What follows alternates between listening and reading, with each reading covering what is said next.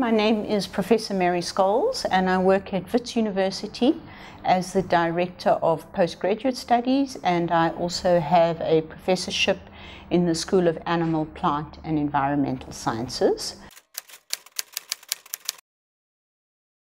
Many people say to us, please ask this question, please ask that question, can you answer other questions?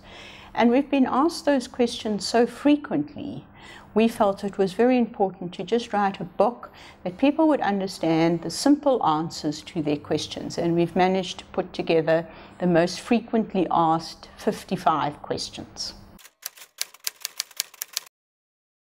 We find that lay people are particularly interested in what is really happening in climate change and how it's going to affect them. So we talk about the educated layman, and that means anybody from having probably a grade 8 education all the way through to university professors and researchers because we've written it in a way that you only need to read the section that you're interested in. You don't have to read it from the beginning to the end, and you can pick it up and put it down when you want to. So what is happening with climate change is that people usually think it's just an increase in temperatures and a change in rainfall. But there are many other impacts, and they can be social impacts on humans, but there can also be impacts on water and rivers and our marine systems, our oceans, and on the terrestrial environment. So the key differences in the terrestrial environments that we'll see into the future is that our big herbivores, like elephants and rhinos and buffalo, they may move to different areas if they can't find sufficient grazing. And we know it's quite difficult for them to move. But other organisms like birds and insects, they can move very easily. And I think that most of you will have recognized already that you're getting birds in your garden that were not there five years ago. And uh, so it's those kinds of terrestrial changes. And then in the oceans, we will see a big difference in the acidity of the water. And as it gets more acid, it will damage our coral reefs and it will also impact where the fishing grounds are, where the sardines are, and where the pilchards are, as well as the penguins, who unfortunately will decrease in number quite dramatically. So the association of climate change and rainfall is not very predictable at the moment because there are a number of other factors that control rainfall distribution. But we do know that in most cases in southern Africa, we will get more droughts, so the frequency of droughts will increase. What that means is, is that for cropping agriculture, for example, those crops that are absolutely dependent on rainfall and no irrigation, they are going to be severely impacted. So we will see some rainfall distributions changing. However, the Cape areas will continue to stay winter rainfall areas. The Highveld areas will continue to see summer rainfall. But when the rains start and when the rains end, will probably change. We will experience always into the future what we call a mid-season drought. So the rains may start in October and then they will go away for months and come back again perhaps in March.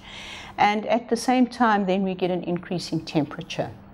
So when you get an increase in temperature, it causes the air movement across the southern part of the continent to be quite different. And that's why we get these very terrific thunderstorms with lightning at 3 o'clock in the morning and hail at 4 o'clock in the morning, kinds of weather patterns we're not used to in South Africa. We are certainly seeing the impacts of climate change already. The particular phenomenon that's causing what we're currently seeing is a phenomenon called the El Nino. Now, El Nino is a meteorological phenomenon. It's got to do with the warming of the surface ocean of the Pacific. And in the old days, that's 30, 40, 60 years ago, we used to think we understood how El Nino worked and we were able to model it with predictions as it will be strong in certain years, weaker in other years, and therefore, if there's a strong El Nino, we can always predict that there will be a drought the following season. However, the strength of that El Nino has changed completely, and we don't really understand why. And at the moment, it's particularly strong, and that is why we're having these drought periods. So there will be some very short-term impacts of food security in the country.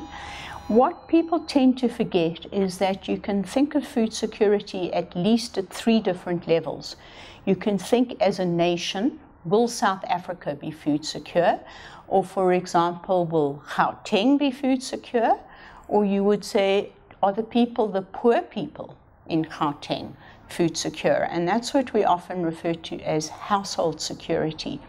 And it's very difficult for any government or any municipality to plan on making sure that every household feels it has access to the right nutritional quality of food and the right amount. And I think what we will see into the next six months at least is a shortage of some food types and that goes across the economic sector. There will be some very special lettuces, for example, that people won't be able to get any longer. But there will also be shortages of things like spinach and cabbage. So it will really affect all peoples. And if the water shortage continues, then we can expect there to be increased food insecurity. And then in many cases, we have to rely on NGOs and interfaith groups to help people that are really vulnerable. The people that will be essentially more physically affected are those that don't have access to the foods that they need in amount and in nutritional quality. Many of those people also live in vulnerable areas, so the places where they live are often prone to droughts and floods and their homes are not very secure. So if a strong wind comes through and they lose the roof, then unfortunately they lose all their safety and security. So there will be the vulnerable poor people who will feel it the most. But it's interesting that many of the people who are even in a middle income category are starting to feel that their emotional comfort and their security is starting to be channel, challenged because they are used to behaving in certain ways. And now, if they can't quickly pop into the store and get the food they want, or there's a massive thunderstorm and they can't get home in the time they want, they are also starting to suffer.